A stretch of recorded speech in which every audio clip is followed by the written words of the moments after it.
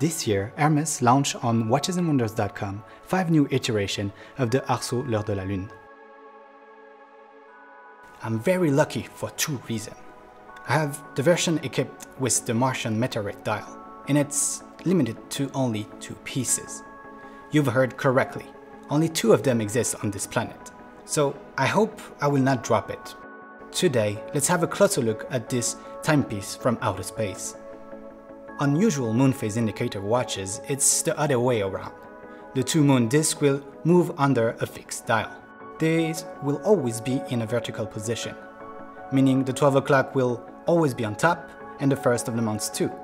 This amazing trick can be achieved thanks to the ingenious and well-made Hermès manufacturer Caliber H1837. Being so exclusive and priced only on request, why not see the Mars colonizer Elon Musk rocking it during his next eccentric public appearance? But how does it feel on the wrist? Designed by the one and only Henri d'Origny back in 1978, Arceau is one of the most important collection for the Hermès watch division.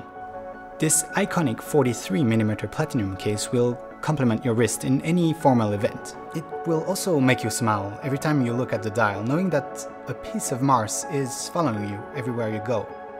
We all hope to see more and more of these poetic creation in this uncertain future.